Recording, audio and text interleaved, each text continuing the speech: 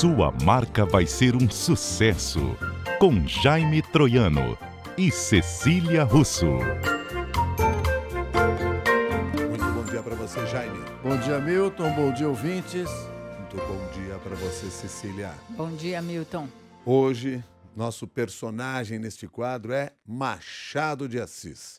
Opa. E por que Machado de Assis faz parte desta conversa sobre gestão de marcas? Jaime. Olha, Machado de Assis faz parte de conversas sobre tanta coisa na vida, tão inspirador ele é, talvez o nosso, não sei se o maior, mas um dos três maiores escritores da língua portuguesa, da língua portuguesa, não estou falando nem só do, da, do, do Brasil, hein? É, ele nos inspira muito, sempre nos inspirou muito. ah, vários contos do Machado de Assis têm esse papel na nossa vida, na minha em particular, na da Cecília, acredito que na sua também, Milton. Um dos contos chama-se O Espelho, esboço sobre uma nova teoria da alma humana. É um texto assim pretensioso, um título pretensioso. E o que que ele fala nesse conto? Machado de Assis relata a história de um alferes militar no final do século XIX no Rio de Janeiro, que se chamava Jacobina, é homem, mas o nome é Jacobina, né? que ficava encantado com a farda que ele vestia. E ele se identificava com a farda, os outros, eu acho que ele imaginava que só viam ele próprio com aquela farda. A farda era a persona, era a sua identidade diante dos outros. Tanto é que sem a farda, quando ele se olhava no espelho, ele não se via, Milton. Né? No conto do Machado de Assis é assim que a coisa acontece. E o Jacobina, portanto, era a pessoa cuja identidade estava ligada essencialmente à farda. A farda era a sua identidade. Então, esse é o conto. Você vai me perguntar o que é agora? Estou só olhando para você Eu quero imaginando. entender de vocês aqui o que, que este conto e o que a farda de Jacobina tem a ver com branding. Enfim, até se a gente deixar o Jaime só vai ficar falando do Machado de Assis, então eu vou trazer para o branding. O Jaime usou uma, uma expressão que é persona. Aliás, quem criou esse termo foi o Carl Jung, que ele colocava que a persona é uma máscara social, é a forma pela qual a gente se apresenta para a sociedade. E o fardamento ali do, do Jacobina era um pouco essa máscara social.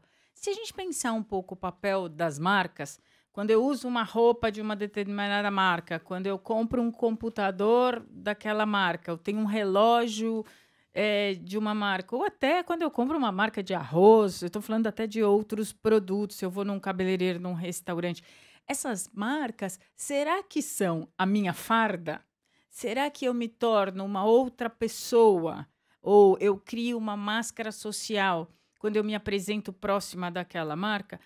Acho que, em parte, sim.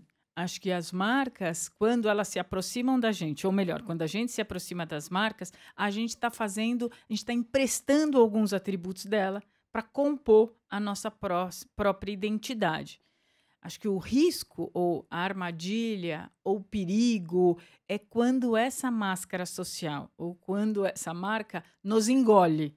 Ela vira só representa quem eu sou. Eu já não consigo me ver ah, sem usar aquela marca. E aí a gente vai fazer atrocidades, vai ficar endividado, vai dar passos que a gente não teria. Então, acho que a- as marcas e gestão de marcas tem que ficar nesse limiar entre você efetivamente ser uma farda interessante, mas sem você criar um efeito eclipse de ocultação né, dessa pessoa, da sua identidade. Aí e eu um lembro que nós já tratamos desse assunto dentro deste quadro aqui, inclusive desta responsabilidade que as marcas devem ter em relação à forma como o seu cliente, o seu consumidor eh, a explora. O cuidado que ela deve ter exatamente para não cair nessa armadilha também e acabar traindo até a confiança do próprio consumidor.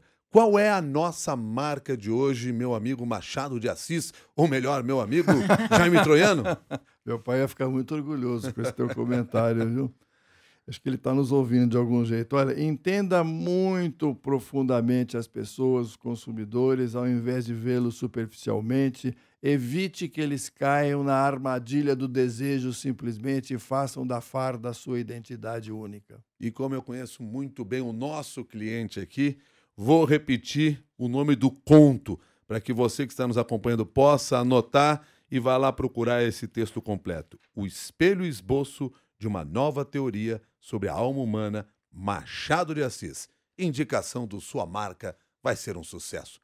Boa leitura para você que está nos acompanhando. Muito obrigado, Jaime. Até mais. Obrigado a você, Milton. Muito obrigado, Cecília. Obrigada, Milton. Leia o texto, depois vem conversar com a gente. marcasdesucesso.cbn.com.br é o nosso e-mail. E essa nossa conversa está também na nossa plataforma de podcast. Até mais.